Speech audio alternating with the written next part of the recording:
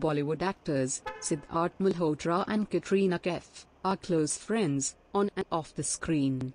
The actors have worked together in the film Baar Baar Dekho that failed to do much at the box office.